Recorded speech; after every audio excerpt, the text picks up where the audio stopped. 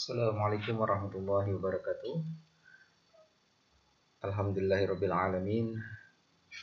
Mari kita mulai perkuliahan kita pada pagi kali ini dengan membaca basmalah bersama-sama. Bismillahirrahmanirrahim. Teman-teman yang saya banggakan, di pertemuan kemarin kita sudah membahas mengenai kaidah-kaidah asasi.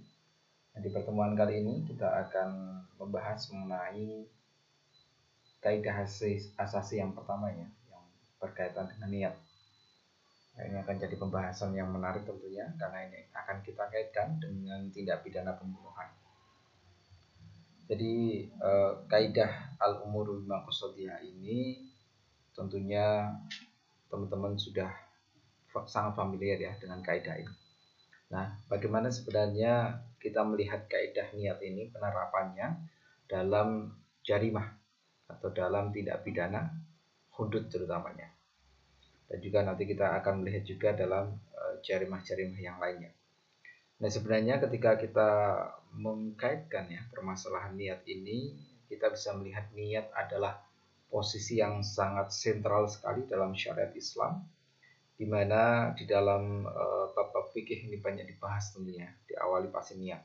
Di beberapa kitabnya Imam Ash-Syafi'i, termasuk Imam uh, kitab Al-Um juga, risalah dan ini terdapat eh, ketentuan-ketentuan yang berkaitan dengan niat. Ya, bahkan ada 70 bab ya di dalam fikihnya Imam Mazhab Syafi'iyah.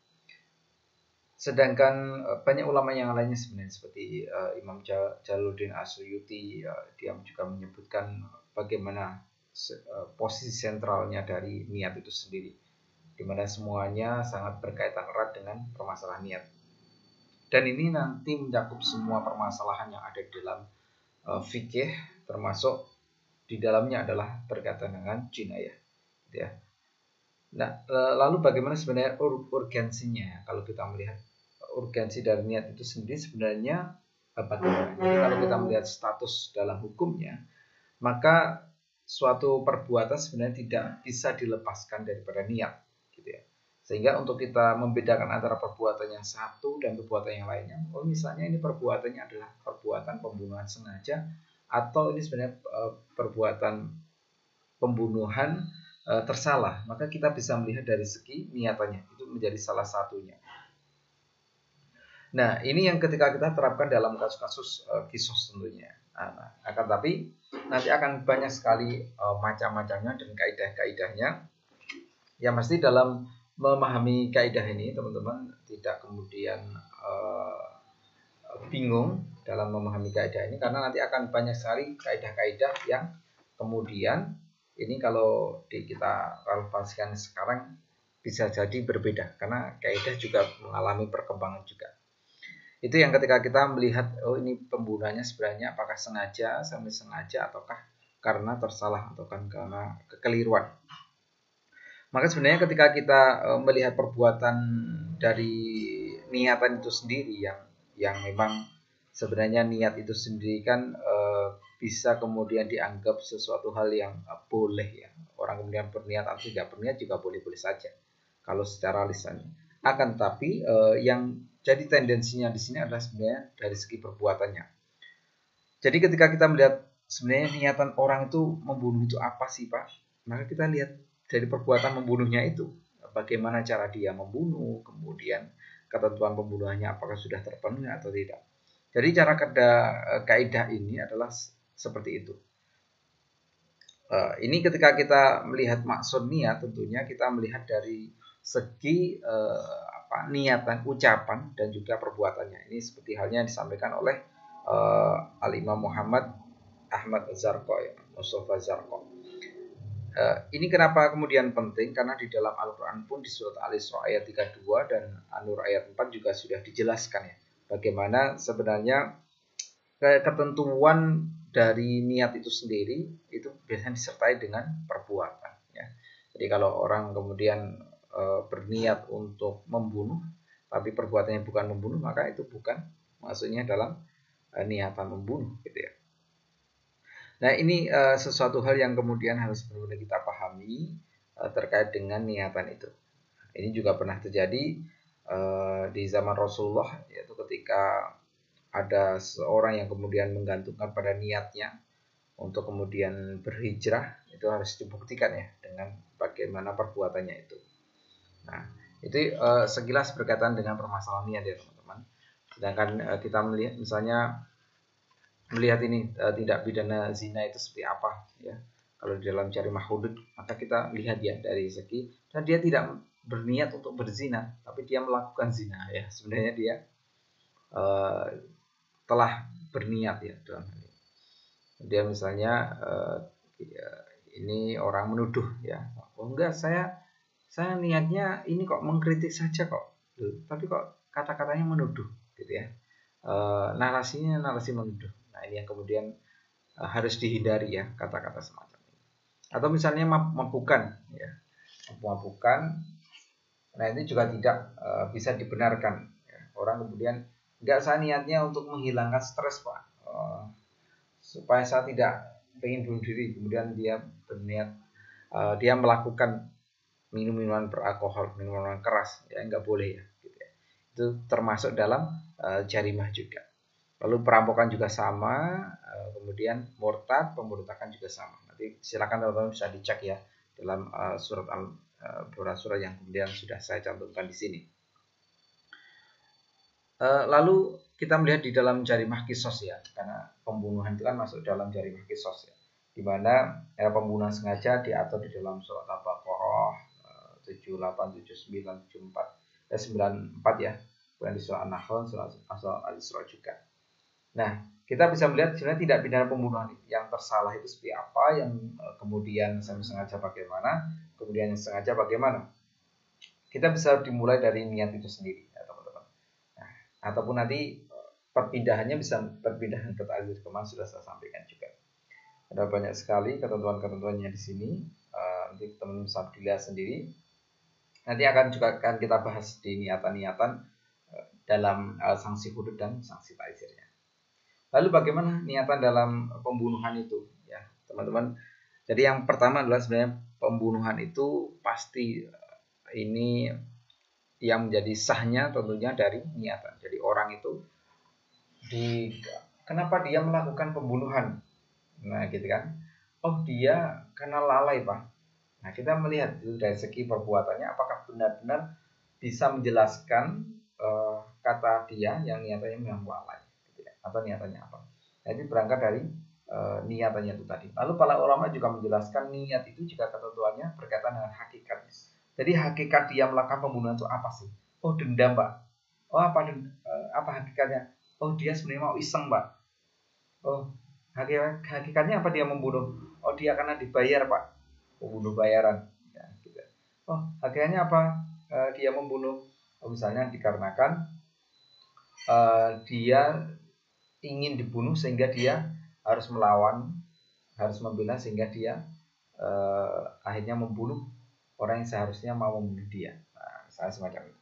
Jadi nanti akan dilihat dari segi akhirnya dan, dari segi aturannya bagaimana. Sudah terpenuhi belum unsur-unsur pembunuhan di situ. Ya, makanya uh, ketentuan dari jari hudud juga tidak mudah untuk kemudian diterapkan. Gitu ya. Kemudian tempat juga. Ya tempatnya di mana? Oh saat perang juga. Tempatnya perang atau tempatnya di mana terjadi pembunuhan di situ.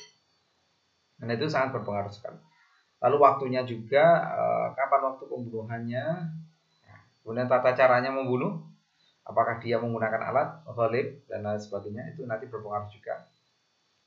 Kemudian syarat-syaratnya dan tujuannya yang pasti ya dia misalnya anak kecil enggak itu orang gila enggak nah jadi dia orang gila gitu ya. belum mukalaf juga ini banyak kemudian terjadi kasus-kasus uh, pembunuhan dikarenakan adanya hasutan. Sehingga anak-anak yang kecil-kecil yang belum uh, supaya usianya belum masuk gitu ya belum mukalaf juga belum balik itu melakukan pembunuhan. Nah ini sebenarnya sebabnya apa? Nah, maka bisa dikaji dari segi niatannya hakikatnya tadi. Itu ya teman-teman, itu berkaitan dengan uh, pembunuhan. Lalu uh, kaidah yang kemudian bekerja yaitu berkaitan dengan uh, niatan ya. Uh, jadi niatan itu sangat penting sekali. Makanya ada kaidah al-qatlu bimakosotiha itu ya. Jadi pembunuhan itu bergantung pada maksud pembunuhnya. Jadi sebenarnya maksud uh, pembunuhnya itu apa sih? Jadi apa itu membunuh itu tujuannya untuk apa? Maksudnya apa membunuh itu? Oh sebenarnya ingin tenar aja ya, ingin terkenal atau ingin apa? Nah, maka tentunya itu harus dihukum dengan cara yang berbeda cara pelakuannya. Belum kenapa berbeda pak? Karena nanti cara penyembuhannya juga berbeda, cara mendidiknya. Gitu. Oleh karena itu dalam uh, penjelasan kaidah-kaidah ini termasuk dalam bentuk-bentuknya, tentunya kita melihat uh, kaidah ini, kaidah niat tentunya itu disandingkan dengan masalah maksudnya, tujuan dia melakukan pembunuhan. Karena uh, ada kalanya memang orang itu melakukan pembunuhan memang karena dia memang disengaja, niat dari awal pembunuhan berencana misalnya, atau sebenarnya dia melakukan perbuatan itu karena sebenarnya tidak sengaja, tapi memang terkesan sengaja gitu ya. Nah, itu, itu yang kemudian patut uh, diwaspadai. Ataupun sebaliknya, ini terkesannya pembunuhan semi sengaja pak, karena nggak pakai ini pisaunya, nggak pakai benda tajam juga, dia pakainya misalnya uh, apa dengan menakut-nakuti bullying dan lain sebagainya. Maka uh, kita bisa melihat dalam segi uh, kualifikasinya nanti. Nah, tentunya dari segi kualifikasinya. Loh bagaimana Pak kalau tidak terpenuhi Pak? Kita bisa bisa dialihkan ke ta'zir nanti ya. Bazir cuma yang ke arah jarimah pembunuhan. Nah, perbedaan pengkualifikasiannya itu membeda-beda ya. Kalau ulama Malikiyah itu lebih cenderung pada tiga hal ya, eh, kepada dua hal, yaitu pembunuhan yang kemudian sengaja al-qatlu al-am dan juga al-qatlu al-khata ya, karena kekeliruan. Jadi nggak ada yang kemudian pembunuhan yang semi sengaja itu nggak ada. Gitu. Ada yang pembunuhan yang karena tersalah karena sengaja. Kalau uh, menurut Imam Hanafiyah, sebagian ulama Hanafiyah juga itu ada tambahannya ya teman-teman, yaitu uh, semi sengaja dan juga serupa kekeliruan. Ya, ma'jaromaj al khotok ya. Jadi serupa, menyerupai kekeliruan, menyerupai tersalah. Ya.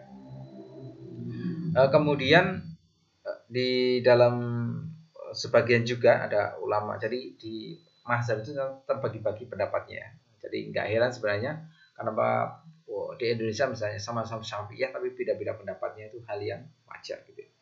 Ada sebagian ulama uh, Hanafiyah juga menyebutkan uh, bahwasanya pembunuhan ini ada juga yang pembunuhan secara tidak langsung atau al khata fi al tasabub gitu ya.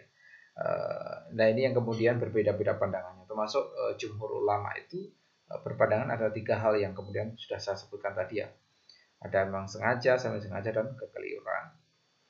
Nah, itu kalau kita melihat ya teman-teman dari segi uh, niatannya karena karena ini masuk dan tujuan itu sangat penting untuk kemudian kita lihat sebenarnya orang itu melakukan tidak pidana itu karena apa ya. Nah, ini karena kemudian membedakan perbuat uh, gini. Jadi maksud dan tujuan ini nanti akan uh, terlihat ya dari segi membedakan antara hukum dan kebiasaan. Sebenarnya orang itu e, melakukan e, kejahatan itu dikarenakan memang adatnya. Misalnya ada ada, ada carok gitu ya. Kemudian ada kemudian ada pertarung dan lain-lain. Nah kita membedakan antara perbuatan hukum dan adatnya itu seperti apa kemudian e, dari niatan itu juga kita bisa melihat tingkatan perbuatan tidak pidananya itu apa. Apakah dia itu nanti kotulus itu am atau uh, kotul khotok ataupun yang lainnya. Sehingga nanti hukumannya juga berbeda. Fungsinya juga sama. Fungsinya jadi uh, ada teori antarkum meninggalkan sesuatu. Jadi teori ini bekerjanya adalah ketika ada niatan, jadi tidak disyaratkan niat pada meninggalkan sesuatu.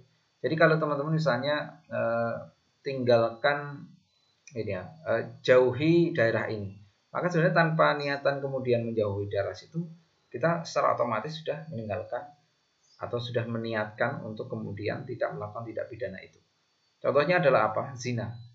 Ya, walau takrobus zina kita disuruh meninggalkan zina.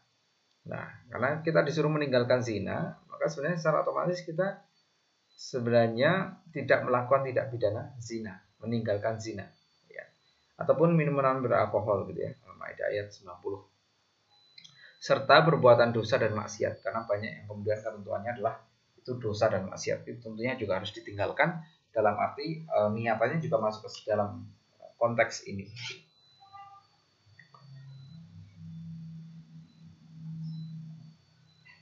Nah, e, ini ya teman-teman. Oke. Lalu uh, dari setiap perbuatan pidana itu pasti disertai dengan niat. Jadi ada orang kemudian, wah saya sebenarnya nggak niat pak uh, untuk membunuh pak. Saya ngelempar pakai batu misalnya. Loh itu kamu ngelempar tuh ada niatannya apa terus? Kecuali dia nggak tahu kalau dia misalnya melempar batu untuk mengambil layangan misalnya. Ya ternyata batunya jatuh mengenai kepala orang meninggal. Nah, jadi uh, ini sesuai dengan apa yang disampaikan oleh uh, Imam An-Nawawi dalam kitabnya Al-Mabdu Syara Al-Muhazzab ya. Jadi setiap orang yang pasti memiliki niat itu dengan apa yang dilakukannya. Ya, itu sesuatu, sesuatu hal yang pasti. Ataupun kita melihat perkara perkara atau uh, tidak pidana itu sebagai penentu niat. Ya. Jadi kalau kita tidak usah kemudian mengklarifikasi oleh karena itu di, di pengadilan kemudian kalau ada orang bohong gimana pak? Maka kita lihat buktinya. Nah, buktinya itu ada dia dia melakukan pembunuhan. Saya kan kayak gitu ya. Atau kita melihat perkara yang wajib itu disebutkan secara umum dan tidak wajib disebutkan secara terperinci. Jadi gini teman-teman. Jadi kalau ada orang kemudian uh, ini kemudian banyak terjadi ya. Misalnya dia berniat untuk membunuh gitu ya. Akan tapi ternyata di tengah jalan kemudian dia oh ini kok nggak kondusif untuk membunuhnya. Banyak orang ya. Banyak orang. Akhirnya dia mengurungkannya nah maka sebenarnya dia belum dimasukkan ke dalam konteks pembunuhan. Ya atau niatnya batal ya dalam konteks ini. Gitu. Ya, ini seperti halnya perbuatan baik ya sebenarnya dalam konteks. tapi kalau perbuatan baik juga dapat pahala ya ini juga dapat pahala. Nah, dalam hukum pidana Islam, niat itu eh, orang yang mengucapkan suatu kalimat yang tergantung pada tujuannya. Jadi orang itu kalau eh, mengatakan niatnya atau orang itu berniat ya, mengucapkan sesuatu kalimat itu tujuannya itu untuk apa? Itu yang kemudian penting. Dia bersumpah. Dia bersumpah itu tujuannya apa, Pak? Dia membunuh. Membunuhnya tujuannya untuk apa? Gitu ya.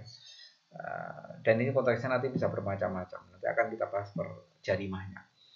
Kemudian kalau di dalam sumpah di depan hakim bagaimana, Pak? Kalau sumpah di depan hakim, maka ini bisa berbeda. Misalnya orang itu e, perkaranya hutang ya, e, hutang atau perkara pembunuhan ya, konteksnya ini pembunuhan. Apakah e, Anda membunuh? Tidak. Ya, ataukah e, ini berdasarkan bukti ini Anda sebenarnya apa e, apakah benar Anda yang ada di lokasi itu dan melakukan pembunuhan? Tidak. Maka tidaknya itu sebenarnya mengisyaratkan bahwasannya dia dia e, tidak melakukan tidak pidana itu. Nah, itu maksudnya. Maksudnya itu seperti itu. Nah, kaidahnya bagaimana? E, kaidahnya jadi setiap perbuatan bergantung pada niatnya yang tadi itu. Itu ada di surat Al-Hud ayat 123 dan Al-Imran ayat 154. Nah, ini yang kemudian e, penting untuk kita pahami e, bahwasanya setiap perbuatan bergantung pada niatnya. Lalu kaidah e, cabangnya bagaimana Pak? Kaidah furu'iyahnya maka kita bisa melihat uh, dari yang pertama misalnya ma'aktaru fihi fi'alu mazahaqu rohi biniyati qadlu ya majnu ali. Jadi pembunuhan itu bergantung pada uh, niat dan maksud pembunuhnya. Gitu ya. Uh, itu penting. Kemudian uh, kalau ini berkaitan dengan pembunuhan yang disertai dengan niat. Jadi orang itu kalau membunuh itu ya pasti disertai dengan niat dan maksud menghilangkan nyawa Nah, kalau tidak ada niatan dengan itu, nah itu biasanya karena misalnya uh, faktor pembelaan, jadi ada pengejualan. Ini ini kaidah berkaitan dengan kaidah pembunuhan sengaja, gitu ya. Jadi yang kalau yang tadi berkaitan dengan pembunuhan yang berkaitan pada maksud dan uh, maksud pembunuhnya, kalau ini berkaitan dengan uh, pembunuhan sengaja. Nah, jadi uh, ini pengklasifikannya, pengklasifikasiannya sebenarnya niat dan pelaku itu uh, apa sih? Apakah dia benar-benar ingin menghilangkan nyawa korban atau enggak? Atau sebenarnya ini menganiaya justru? Maka kita bisa melihat uh, dari segi niatan pelakunya. Sehingga kita bisa mengetahui tentunya dari segi buktinya. Nah, itu yang kemudian bisa menyertakan sebenarnya niatannya itu apa, menghilangkan nyawa korban atau bukan. Nah, salah satunya juga bisa melihat dari segi alatnya, alat yang digunakannya juga bisa. Makanya uh, Imam Muhammad Ahmad Az-Zakir menunjukkan dalilul syai fil amri di uh, bitinati yaqumu maqamah. Jadi petunjuknya tuh perkaranya uh, harus benar-benar terlihat ya, jangan sampai tersembunyi. Nah, jadi kalau tersembunyi uh, apa petunjuknya itu yang kemudian sangat disangsikan atau menjadi subhat. Nah, ini jadi petunjuk-petunjuk itu sangat penting untuk kemudian dikaitkan dengan penjelasan-penjelasan yang lainnya. Lalu bagaimana dengan alatnya, Pak? Kalau alatnya uh, tentunya misalnya senjata tajam ya, sajam ya, yang sering disampaikan itu sajam. Maka uh, ini bisa mendasari juga, mendasari ataupun meyakinkan hakim bahwasanya pembunuhan itu ternyata disengaja atau tidak.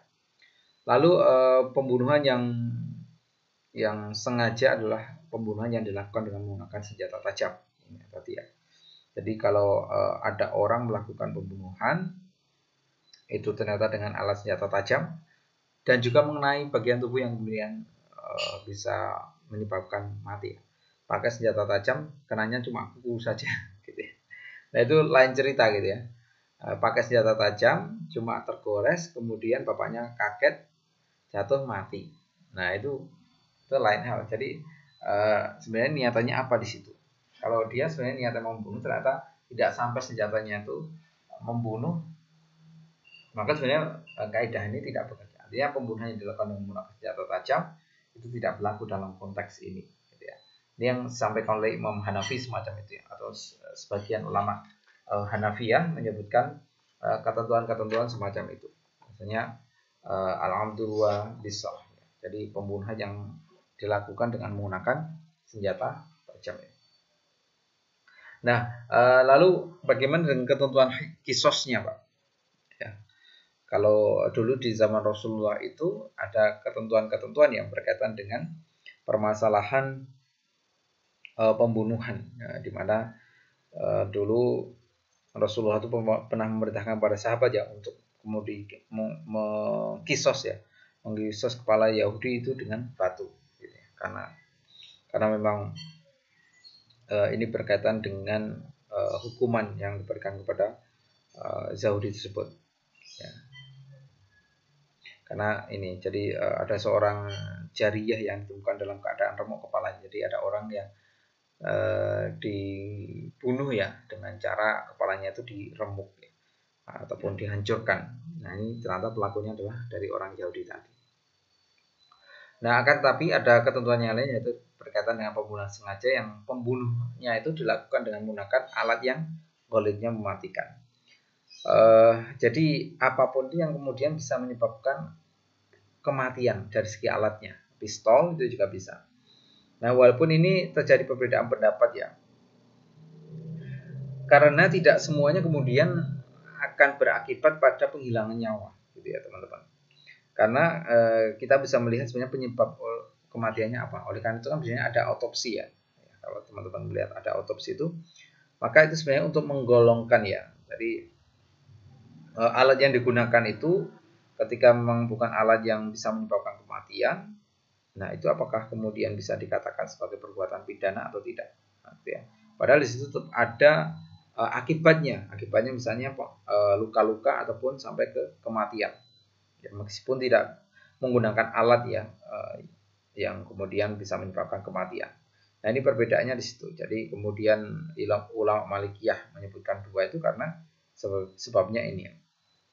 Nah e, kalau Imam Syafi'i dan Hanabilah berbeda karena pandangannya dengan melihat pembunuhan ini itu didasarkan pada dalil Al-Quran tentunya. Didasarkan pada dalil Al-Quran dan e, pengakuan biasanya kan untuk tidak pidana yang dilihat adalah mengaku enggak nih orangnya. Nah gitu ya teman-teman. Jadi kalau mengaku, oh ini ya jelas ini. Nah, karena dijelaskan juga di surat An-Nisa ya ayat 93 eh, terkait dengan pembunuhan yang tidak sengaja di situ. Dan juga di surat An-Nisa ayat eh, 93 juga ya. Nah itu berkaitan erat dengan tindakan pidananya. Ya. Lalu eh, pembunuhan sengaja itu lebih uh, ditekankan ada yang menekankan pada faktor penyebabnya yaitu permusuhan. Nah ini banyak yang kemudian terjadi ada yang karena uh, sebabnya dihianati atau apa. Nah ini kan sebabnya sengajanya dari situ. Jadi faktor faktor yang menyebabkan dia melakukan pembunuhan itu menjadi kaidah di dalam konteks ini. Jadi kalau penerapannya, loh dia kenapa? Oh, karena dia melakukan pembunuhan. Oh, berarti pembunuhan sengaja di sini. Jadi maksud permusuhannya adalah pembunuhan yang dilakukan uh, tidak berdasarkan kebenaran. Nah, itu juga bisa. Jadi orang itu uh, misalnya membunuh karena membela, itu boleh. Karena membunuh dalam kondisi perang. Jadi bukan karena kemudian kesalahan. Ini misalnya ya eksekutor-eksekutor pembunuhan mati ya. Nah, ini juga masuk dalam konteks ini para uh, al-julatnya, al-fujunya. Gitu ya. Oke, teman-teman, uh, mungkin sampai di sini dulu. Nanti kita sambung di pertemuan selanjutnya. Assalamualaikum warahmatullahi wabarakatuh.